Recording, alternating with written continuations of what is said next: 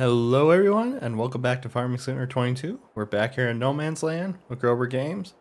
So I decided to do a little bit work off screen, so I sta stayed up the day before and I finished, as you can probably tell, one of the fields back there. I left the other one, so we'll finish that today. And I ended up picking the rock out of that big field just so we don't have to spend all day watching that today. But as you can kind of see on the mini map, the field's shapes are all drawn out. And our oats here, our oats here, ugh, excuse me, is already starting to grow, but we're starting to get a few invaders. So I think the first task this morning is we're going to head into town. And I think we're going to pick up a tool to start getting rid of these. I I kind of have a tool in mind already. And I think we're going to pick up a, a weeder for now. I normally would pick up a spray. Normally I pick up the sprayer, but I there's not so there's not too many good cheap options for us, and I figure with the few fields we have, I think we're gonna be fine with just picking up a little little weeder for now. But we're gonna back the trailer around by our toolbox here. We're gonna get get rid of the logging poles because I don't think we'll be using that for a bit with what I have in mind because I think since flatbed trailer. I think that one of my goals is for the next month or two is I think we're gonna end up mowing all the grass that is out back there that we haven't made a field into any fields yet. And we're gonna end up baling that and we're gonna end up wrapping it because with that little rock bucket I found, that has been extremely handy and it was dirt cheap compared to what we were going to ha have to spend for a rock picker. Granted, the only issue with that rock bucket is you can't really hire a helper to do it, which isn't the biggest deal thing, which isn't the biggest deal in the world. I mean, it doesn't, it doesn't take that tack long. I think it took about five, ten minutes for me to clean up all those rocks out there, especially with us having our own rock pile out back there. It kind of makes it a little bit easier to get to dispose of everything. So, but no, I had a I had a weeder in mind. And let's see here. Weeders. I don't use there we go. I don't usually use weeders too much, but we're going to pick up this 825 roll cultivator and we're gonna put make sure we put a moving vehicle triangle on it and we're gonna put some guy guide holders on it to keep it between the rows Granite. granted we're not not gonna be doing too much with that but I think I think we're gonna bump up the speed because usually I think when we were running it, we were running around six, seven, seven miles an hour, so that's pretty accurate. Uh, we'll, we'll keep it standard for now. Because I don't think, I don't think we'll, we'll have too much going on. But the main goal today is we're going to finish tilling that last field. Get this put on here. We're gonna finish tilling our last field for the day. And we gotta get both the fields spread. We gotta get the rocks picked in the last field, and then we'll have to we'll have to get a lime spread on both of the fields. And then we'll go head out back there and get our soybeans and sorghum drilled. And like I said, I'm, I think we're gonna end up heading towards planting the biggest field in soybeans then we're going to plant the smaller smaller one in sorghum. So the biggest field is pretty much ready to go. Like I said, the only thing we got to do is lime it now. And I'm kind of curious. I might have... I think I might have overdone it when I was buying lime. But it's hard to tell yet. Because we've gone, gone through almost, almost a bag and a half in reality for this one little field. But it seems like we got it just seems like I we got quite a bit of lime sitting up here yet. And I think one of the other things I want to do, like in the next month or two, is get a shed put up. So that way the Oliver doesn't have to sit outside the whole time. It's it's starting to become a little bit of a dirty girl too, so I kind of would like to buy a, a small power washer. I'm actually kind of curious. We're gonna see this bag handler here. Put, put the loader back on. Drop the bucket here.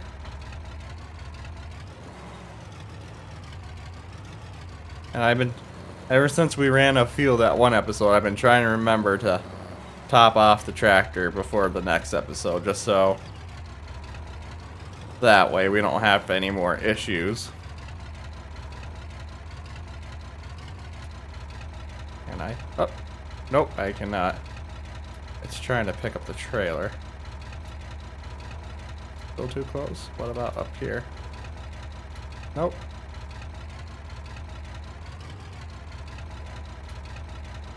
Still too high? Oh. Yep, we're still trying to pick up the trailer. Well, I wonder. One more way I want to try it here. Kinda stinks that this thing's that sensitive to picking up the trailer as well, because I think because we would be able to unload most of the stuff like that. Because even I even tried lifting the bat, uh, lime bags off last episode with it, and it kept wanting to grab the trailer as well. But you know, it, I'm still not upset with the tool. We're not getting rid of it ever for logging. It is officially my best friend in this logging madness. There we go. Get this set down right here. But I think one of the first things we're going to do is I think we're going to get to get the field weeded out, weeded out, and then we're going to we'll hook up our our little subsoiler or our ripper. Finish ripping the ground up so that way we can start getting the rocks picked out there and then we'll get those picked and then we'll head into Lyman and get in this field zone. So we're we got quite a bit to plan for this month of May. And this this tractor's almost got five hours on it since we bought it, which kind of goes to show you we we put quite a bit of time into this series already. When you think about it, because most of it's at least half of it's been spent logging. Let's see how this works.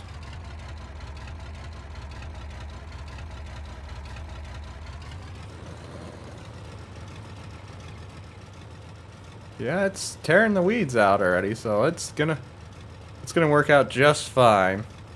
Even though in reality we wouldn't be able to do a roll cultivator with with something like this, but you know, this is this is just one of those cool vintage tools to have. We my folks still actually have one a roll cultivator, but it's not a John Deere one. And we we very, very rarely use it anymore. I think we kind of took,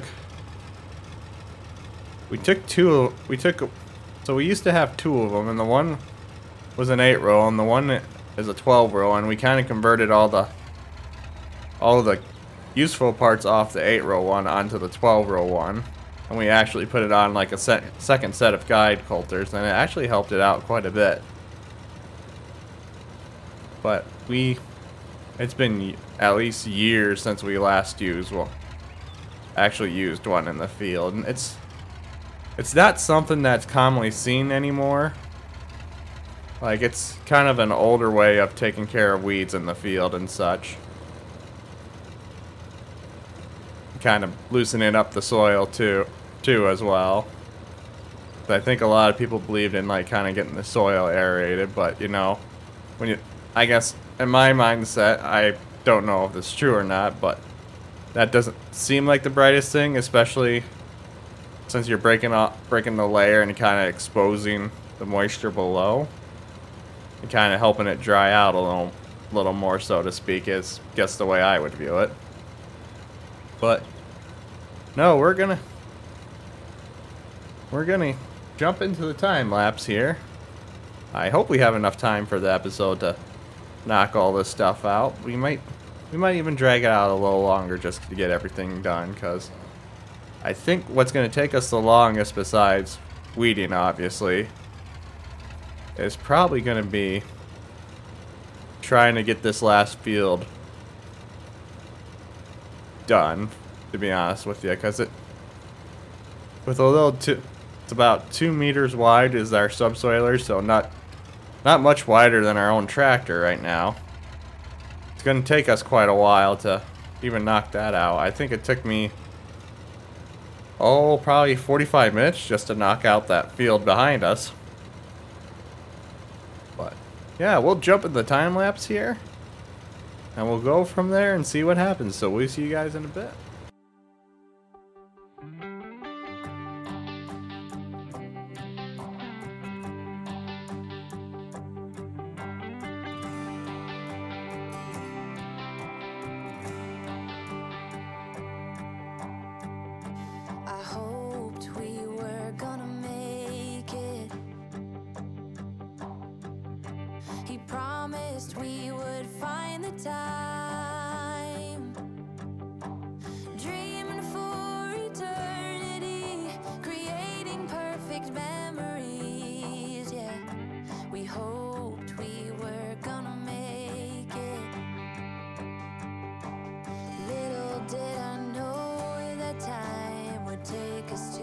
Along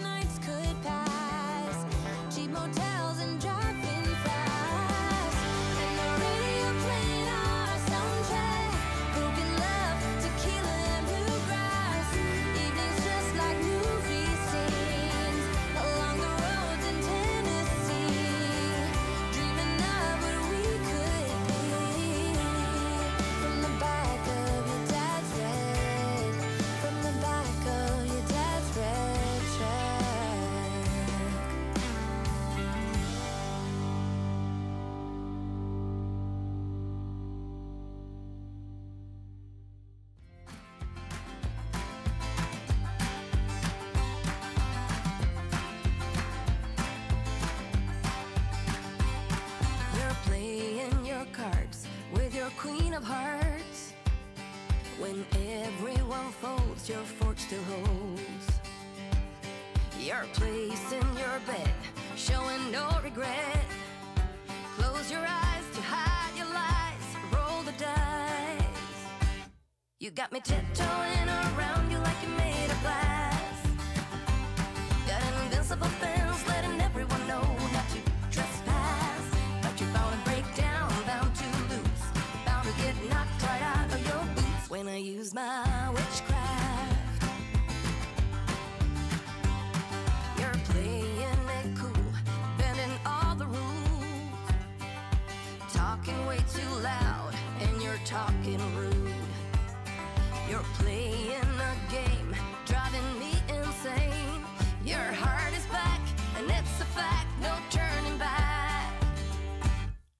got me tiptoeing.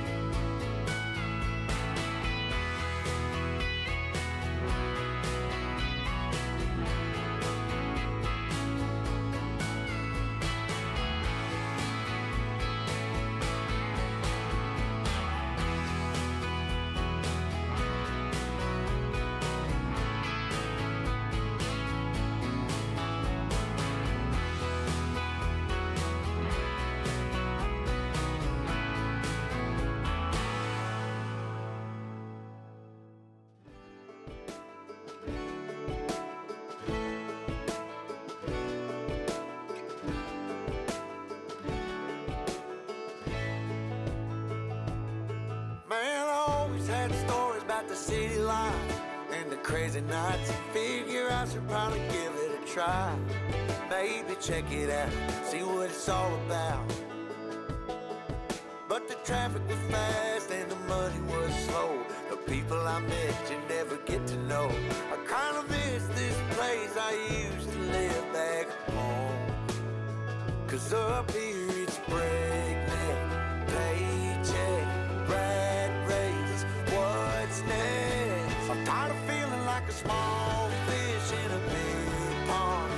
To go back where I came from, where everybody knows my name. My friends are still the same. I guess the slow life hit me just right, like a bonfire on a cold night. Hell, and you can keep your nine to five, happy with the simple life.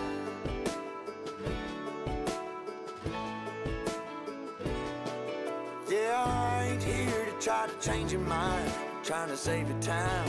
In case you're thinking about breaking out the bucket list. Girl, you can skip this funny business. Cause up there it's complicated and overrated. Down here everything is understated. That's alright.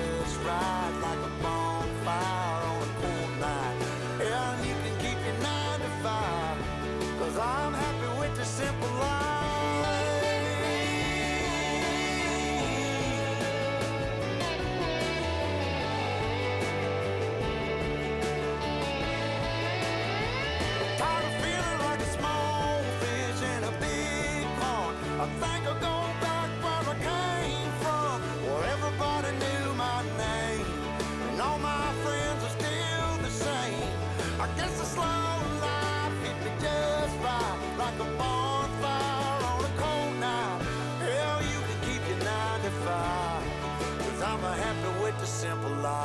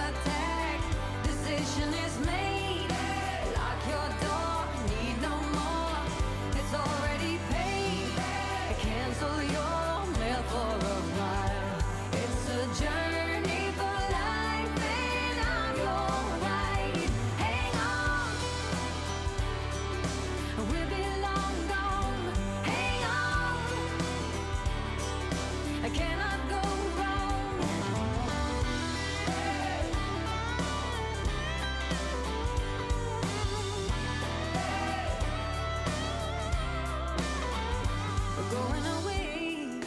I get you back. I check the tag. Journey for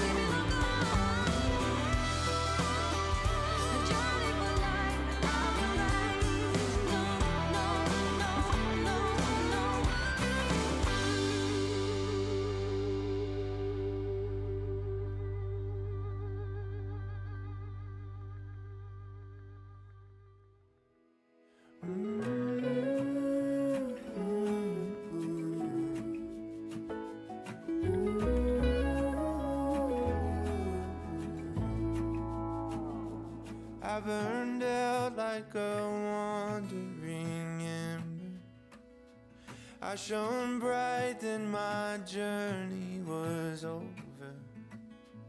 What I sought when I ran was back where I began. No matter the rain, no matter the storm, I'm coming home. I'm coming home. Leave open the gate. Don't turn off the light. I'm coming home.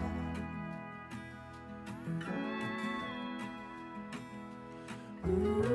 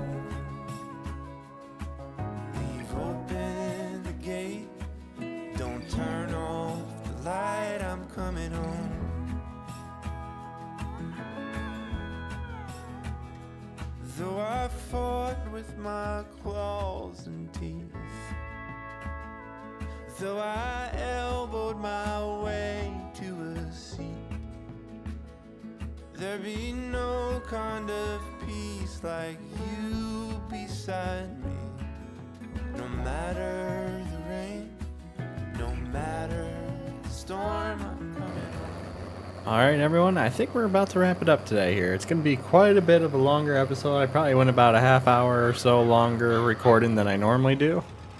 Um, I guess the main reason I did that is because I really wanted to knock all this stuff out in one episode so that way we can move into the next month. Right? I guess the next plan that I have is we're gonna I think we're gonna head up to the top of these hills over back here that, where we haven't done any tillage to make any fields yet and we're gonna go up there and mow all that stuff and rake it up and bale it as well and I think we're gonna inve- finally invest ourselves into a bale wrapper I haven't decided if we're gonna, just gonna get the pole behind one or if we'll get the stationary stationary one. I'm kind of leaning more towards the stationary one just because I know the pull behind one would be quite a bit cheaper. I think it's like 10, 12 grand cheaper, but with the sta- the stationary one I'm looking at, at least with that one, it would be able to handle all the all the mods that I got installed at least for like wrapping bales. Let's just top this off. Get rid of these bags at least. Maybe. Yep. Got rid of both of the bags. So one less thing for us to worry about. Well, we we're getting we're getting pretty low on fuel again for this Oliver. It's she is a drinker. I've noticed. But we got she has been she has been the backbone of this whole operation so far, so I can't really complain. And it looks like we still got quite a bit of lime left. So I guess I overestimated how much we need. Well, maybe if I decide to till up after we get done mowing the grass up here, maybe I'll till up one of these and just put in a full grass field because that yields a lot better than just mowing the normal grass texture, so to speak. Is the best way to put it. And I I think I might start putting in start editing like put in some dirt road and such here, make a path. Get rid of some of these dang bushes. They're really bugging me. Just just feel like there's too many of them in this little area. But I guess the other thing I would want to do, let's pull along here and start filling this up while I finish finish the outro as well. Maybe. Am I not close enough? What?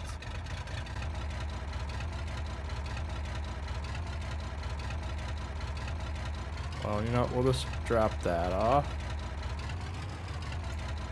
Hook that in the bush for now. Guess we gotta pull right alongside it to get the trigger to come. Get to trigger. There it goes. Okay. But that's that's fine. But we're gonna like I said, I think I might in between episode I might go up there tonight yet and start cutting before it gets too dark so that way we have a good portion of it done because tomorrow we're gonna have in the month of June we're gonna have quite a bit of work ahead of us if we got that grass cut we'll have to rake it and then we'll we'll probably have some weeding to do again in our new fields. I think I got most of the weeds here. We'll kind of see as it as everything starts to grow but the oats field is looking really clean. I think I think investing into this roll cultivator for our whoop got stuck between the bale there was definitely one of our one of the best better investments on our parts. Even though it's not quite as fast or efficient but it's what we can afford and budget into because we still got quite a bit to think about buying like we haven't even bought a real house yet and i i remember saying like episode one or two that i wanted to get into a real house right away but weather's still been kind of nice out to be roughing it in our little tent here so i guess it the other main priority is our little area is looking quite a mess with all our equipment sprawled out like this. So I kind of would like to invest into a to a shelter because I feel like the Oliver kind of deserved deserves a nice place to call itself home as well, especially for as many hours as we put on the thing for for our short season so far. But I think this is where we're going to wrap it up today here, folks. Um, if you enjoyed the video, please give it a thumbs up. It really helps out the channel. If you're enjoying the content, please subscribe to stay up to date with the latest No Man's Land playthrough and other Farming Simulator and games as well. Above all else, I hope you all have a wonderful rest of the day. And most of all, thanks for watching.